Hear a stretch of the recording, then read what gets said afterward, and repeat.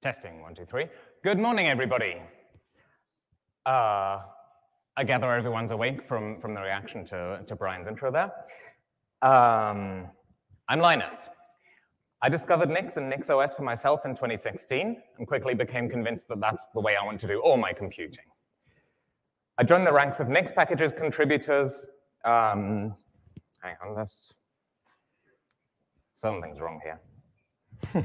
Sorry. There we go. Uh, I joined the ranks of Nix packages contributors and have been following the call of Nix in my career since graduating from university. Along the way, I've managed two NixOS releases, and I've been on the RFC steering committee since 2021. We're looking for new members, by the way, so get in touch if, if you're interested in helping. I work at Determinate Systems, where we're working on making the Nix the best choice for working together. So what's NixOS? NixOS is an operating system based on the Nix package manager and Linux. Linux is an operating system kernel, which means it runs on the hardware and mediates access to that hardware by the user space, uh, providing abstractions to allow applications and services to care less about what exact hardware they're running on, and allocating resources to allow multiple processes to run at once. I'm going to talk about how we get from a bootloader to a complete operating system, and compare how traditional Linux distros and NixOS fit the pieces together, and then showcase some of the possibilities that NixOS puts within easy reach. When did that happen?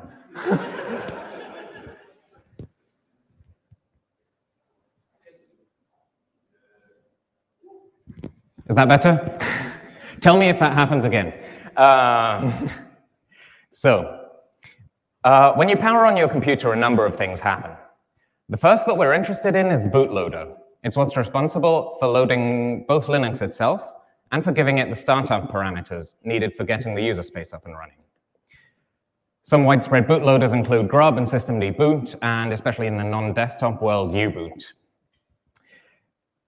These startup parameters are usually the command line and the initramfs. The command line tells the kernel uh, some configuration that, uh, that applies before the user space can, uh, can take care of that, such as uh, logging behavior, how to respond to crashes, or what user space to actually start.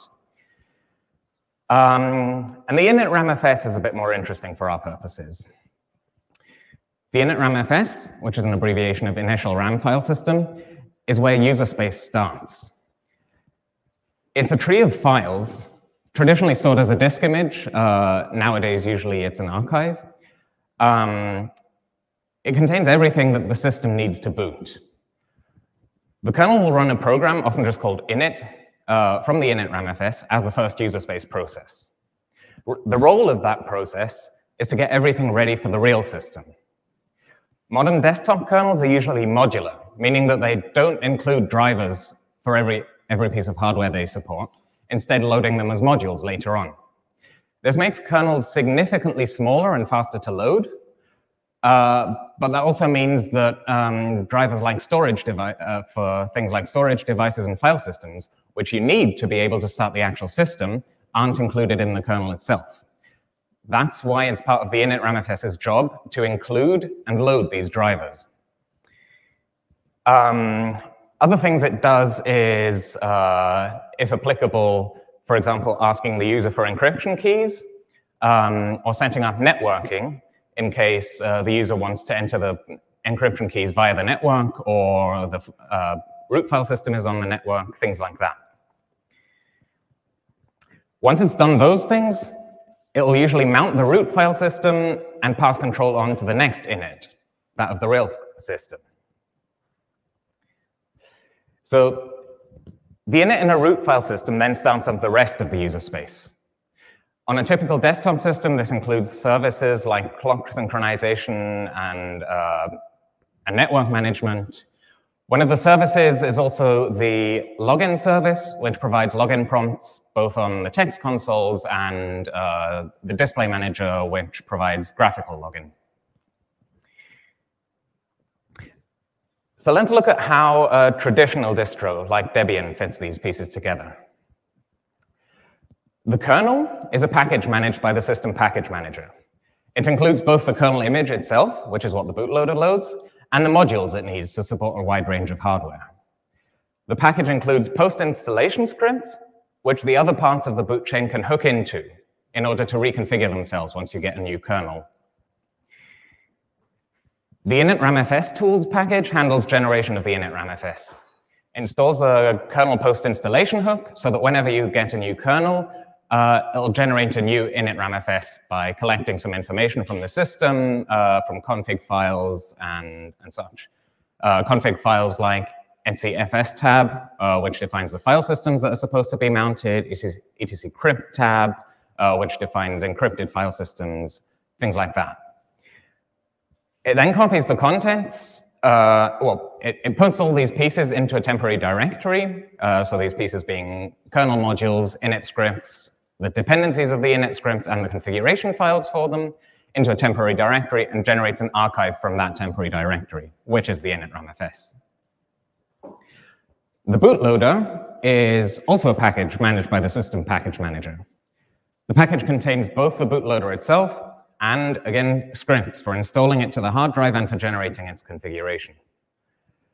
The installation scripts are usually only run when the bootloader is installed or upgraded, and the configuration scripts, uh, those define the actual boot options, so the, the kernel command line init ramfs combinations.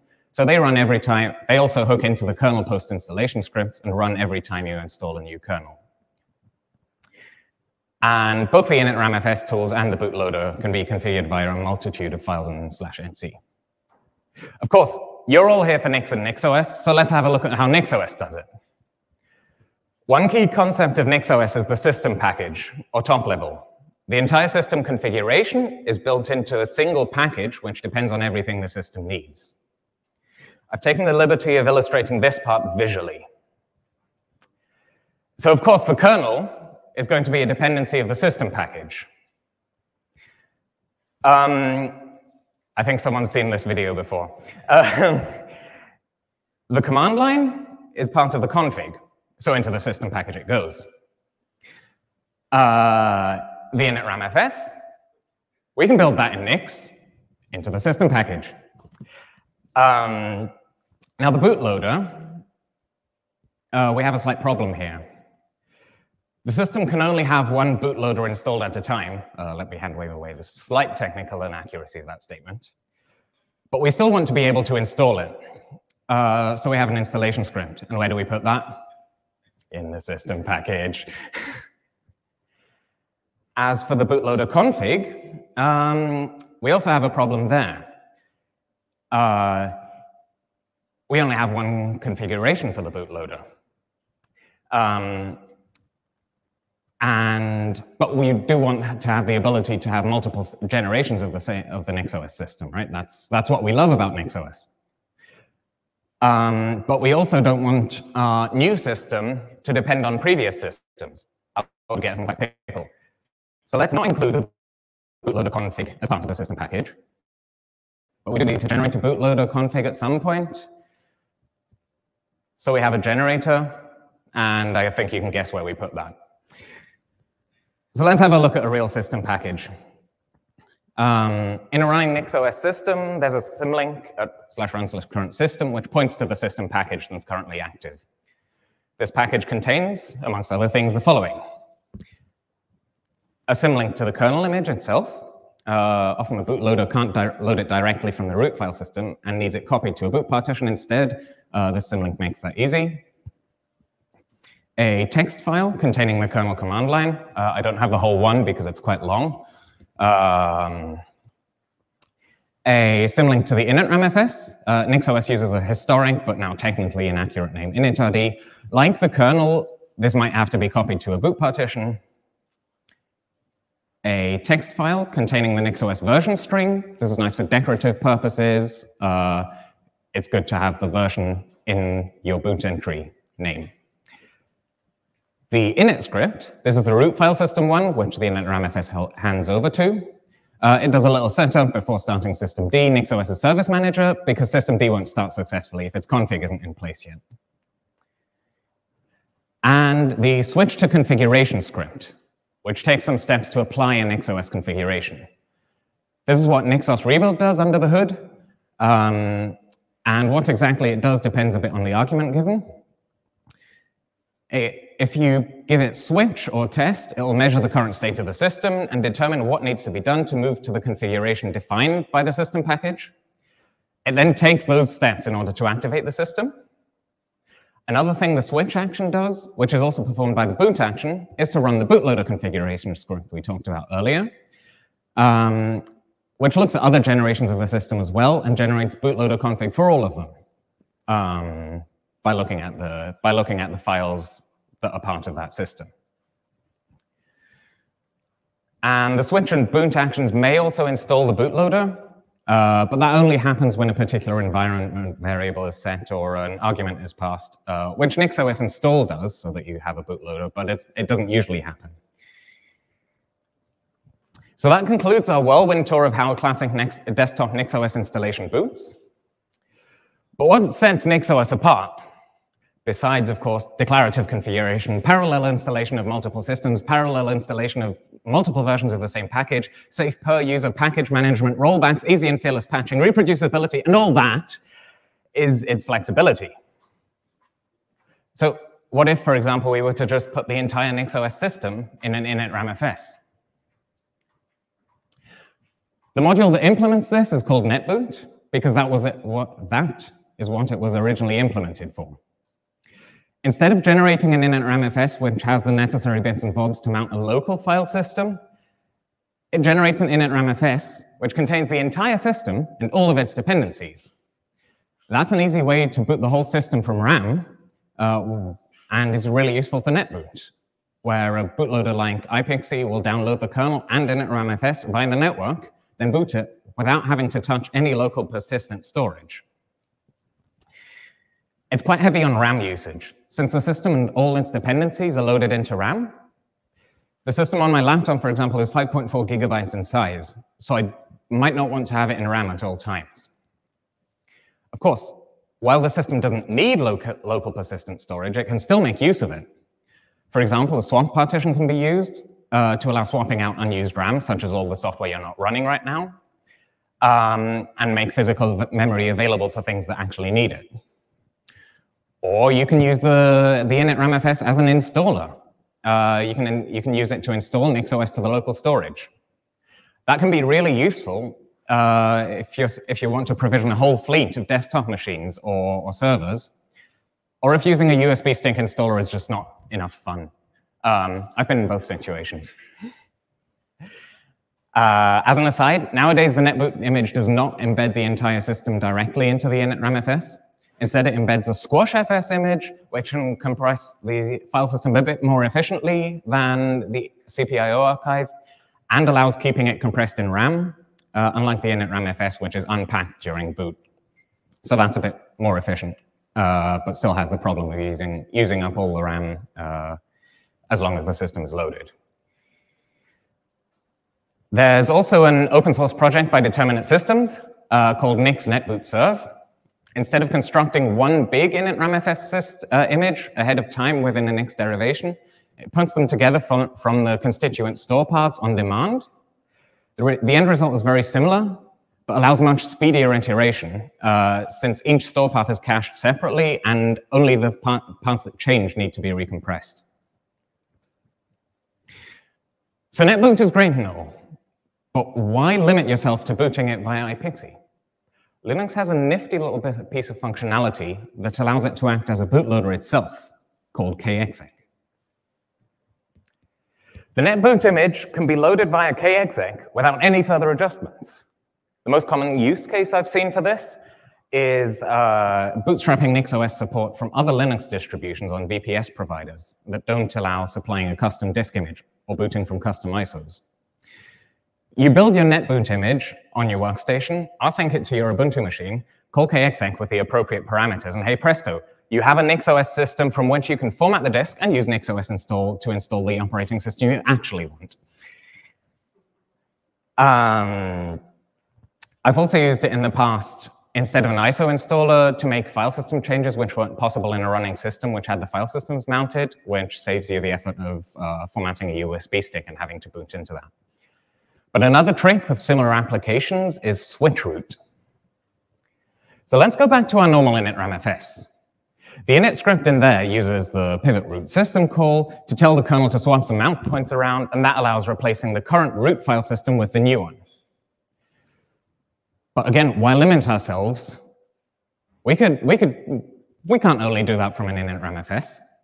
Uh, systemd exposes a command that allows shutting down the running user space, but instead of powering off the machine or rebooting, um, this command will do exactly what the init ramfs did. I'm sure it was originally intended for systems where systemd is used in the init ramfs, but why shouldn't we use it outside the init ramfs as well, right?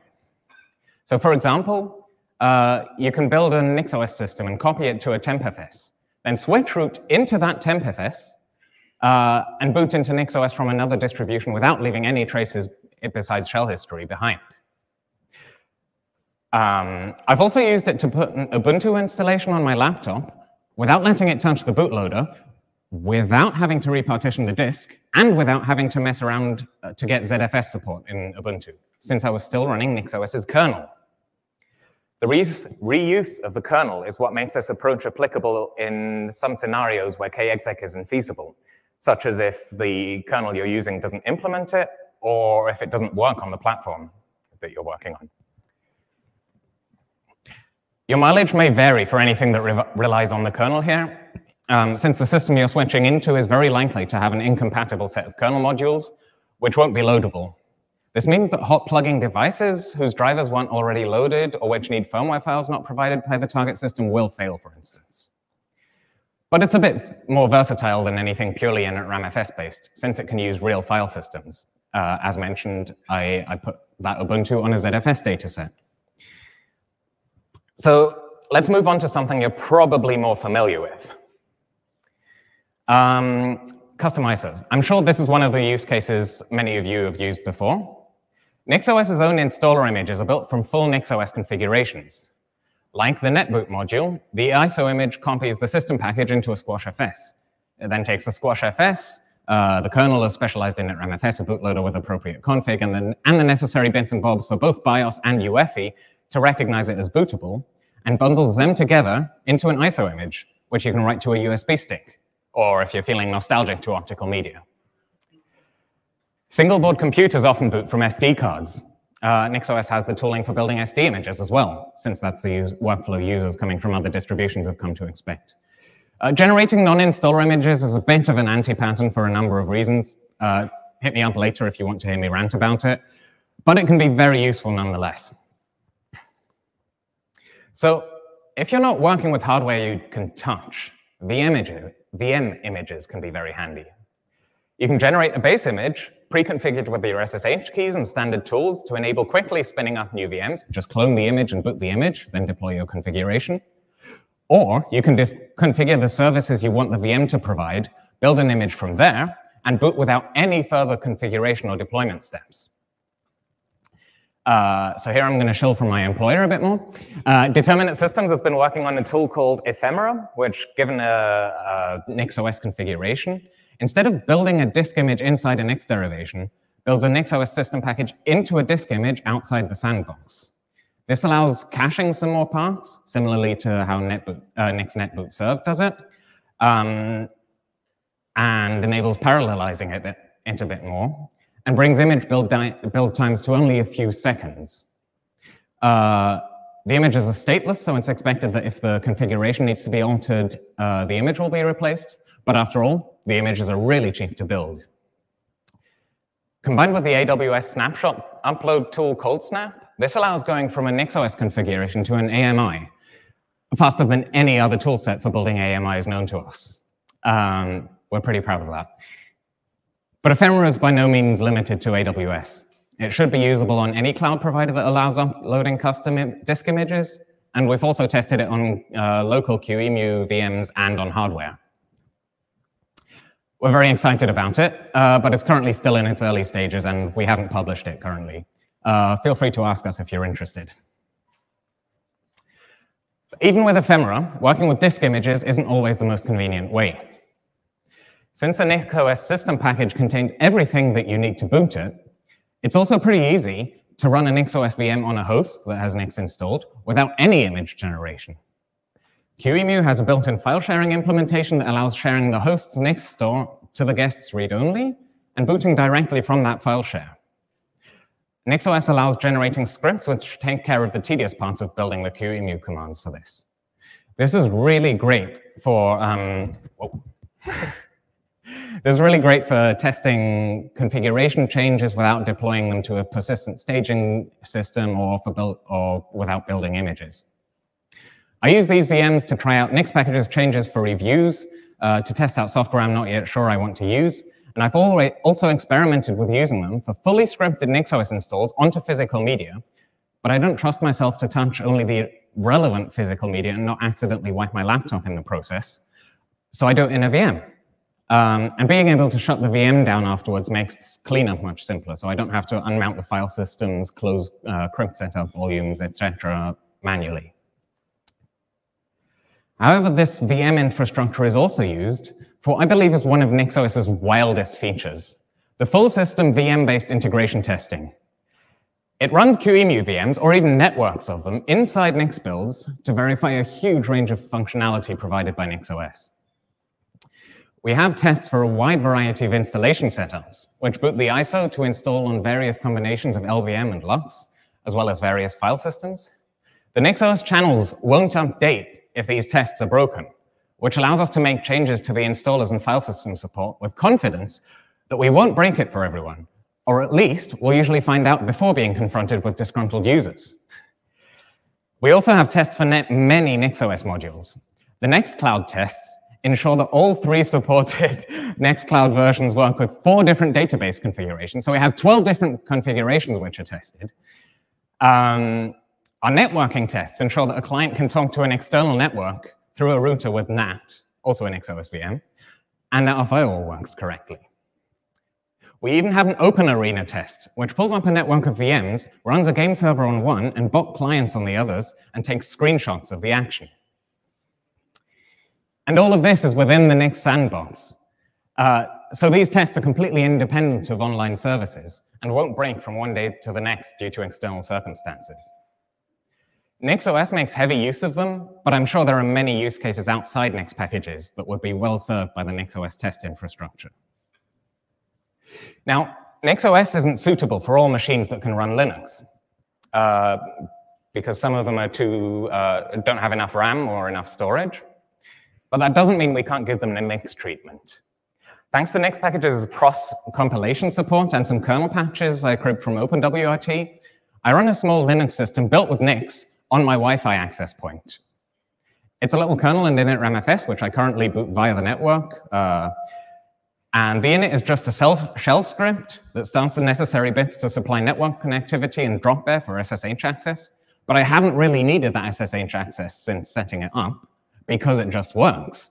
Uh, the, one, the biggest problem I had with it was uh, when I wanted to take this picture, I accidentally unplugged it and then my Wi-Fi was gone. Um, but yeah, uh, Daniel Barlow's gone a bit further with the concept, and his work predates mine and inspired it a bit as well. Uh, and he wrote NixWRT, uh, though I gather he's currently rewriting it as Liminix, uh, which supports a wider range of devices and more use cases, including router setups and things like that. And in principle, it can run on anything that OpenWRT runs on. Might need some extra work, though, for some platforms. Um, Samuel DR also has some interesting projects going on around building embedded Linux systems with Nix. Uh, I believe he originally started this in order to, uh, to create this Tow-Boot installer, um, which he builds with Nix, but isn't based on NixOS. Uh, but he's, he's been working on how to generalize that into a, into a more universally applicable uh, embedded Linux system build framework. Um, not dissimilar from um, build root, for example, in use cases, I believe, uh, called Celun. It's still in its early stages, but uh, he's got both the Tow-Boot installer building with it, and he's built uh, operating systems for a variety of obscure emulation consoles using it. So I think there's a lot of space to be explored there, and I'm looking forward to what Samuel DR, Dan, and the rest of the community will dream up over the next few years. So let's talk about NetBoot again. I'm not going to start uh, I'm going to start talking about things that I haven't done before and that might not have generic practical implementations yet, so take these with a grain of salt. Serving a full system in NetRAMFS is an easy way to get your NixOS on a machine, providing it has enough RAM and or swap, but it's certainly not the most efficient uh, because you're downloading the whole system before you can even start booting properly. Um, classical NetBoot setups only serve a small initramfs containing the network uh, network drivers and configuration for mounting a network file system as the root. This is, of course, also possible with NixOS. Uh, certain properties of Nix make it possible to do this much more efficiently as well. For instance, the Nix store is practically append-only. Once a path is there, it'll only change in very unusual circumstances, and even then it should be functionally equivalent. This means that store paths can be cached by clients indefinitely, this would combine the flexibility and central manageability of classic NetBoot setups with the performance of a local installation. There's a lot of room for creativity here. Um, since store paths are immutable and can be signed, they can be obtained safely from untrusted sources. This makes peer-to-peer -peer distribution possible, meaning that the NetBoot server can be provisioned far more economically without impacting performance. Again, in theory, I haven't done this in practice. So a lot of operating systems can boot in these ways. What I think is fairly unique to NixOS is that because everything is pulled together, uh, together from a declarative config into an immutable package, it's much easier to do all these things. You can take the NixOS configuration running on your laptop, factor out any bits that are specific to the hardware, and then get your laptop's configuration running in any of these environments in a matter of minutes. You can build installer images with pre-configured Wi-Fi and SSH so that you can install on hardware remotely. You can put SuperTuxKart and OpenArena in for geeky open source LAN parties.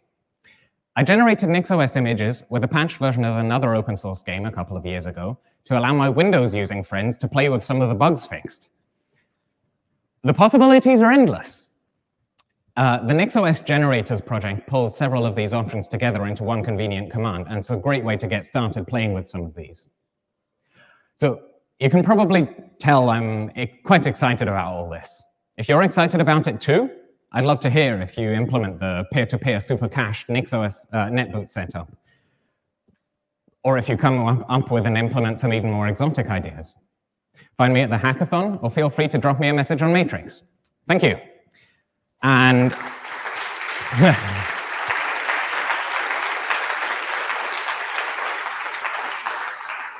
and I've got links to a number of the things I've mentioned up on there. Um, is there time for questions?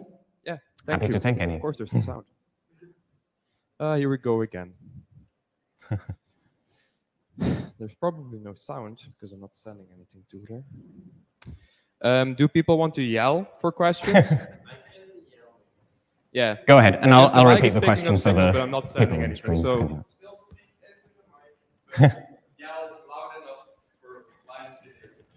uh, for, so thank you for the great talk. Um, I'm wondering how far can we go with something with CRIU, uh, which uh, is checkpoint and restore, mm -hmm.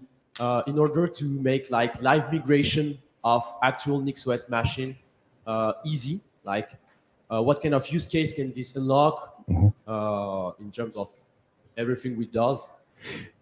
Um, was the stream able to hear that, or should I repeat the question?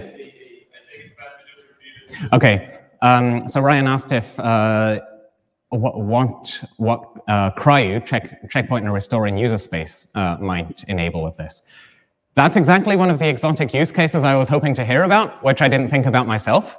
Uh, it sounds really cool. Uh, I yeah, that that sounds exciting, and I don't really know. Thank you for.